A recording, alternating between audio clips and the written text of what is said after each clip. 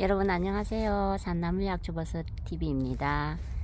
오늘은 제가 예쁜 꽃을 영상에 한번 담아 보겠습니다. 지금 보이는 이 꽃이 너무 예쁘죠? 실제로 보는데도 꼭 좋아 같습니다 여러분.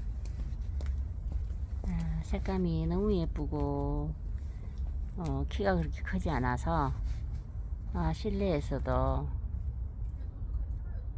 키울 수 있는 그런 예쁜 꽃이네요. 이 이름이 앵초입니다. 앵초 꽃 이름이 앵초. 와, 그 잎만 보면은 약간 곰보배추하고 비슷하죠. 앵초. 제가 예쁜 꽃을 한번 영상에 담겠습니다. 그리고 여기는 레인시아. 와, 꽃이 정말 너무 예쁘죠? 레인시아. 아, 꽃말은 치유, 천사의 눈물이랍니다. 아, 왜 천사의 눈물이라고 했는지. 네, 꽃이 참 예쁘죠.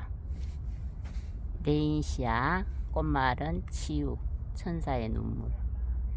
그리고 또 아, 장미앵초. 그리고 펄범 펄범이라는 꽃입니다 이거는.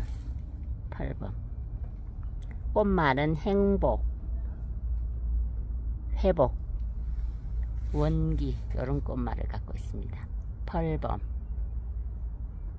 요꽃 이름이 펄범. 그리고 여기에는 오보코니아 오보코니아.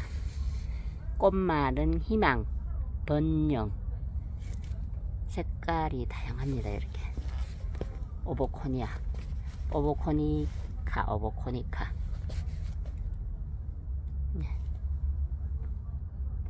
이렇게 흰색도 있고 이렇게 다양한 색깔이 이렇게 나는 오보코니아 그리고 비덴스 여기는 비덴스.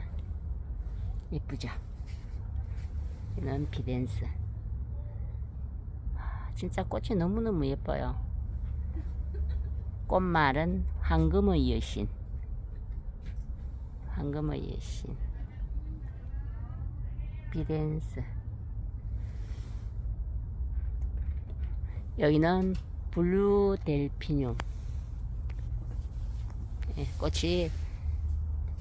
요즘은 꽃이 대, 대부분 보면은 참 예쁜데 공통점은 꽃 좋아 같아요. 예, 이름은 블루델피늄 꽃말은 당신은 당신을 행복하게 해줄게요. 예쁜 꽃말을 갖고 있습니다. 아 꽃이 예뻐서 여러분 제가 몇 가지 꽃을 영상에 담아 보았습니다. 여러분 감사합니다.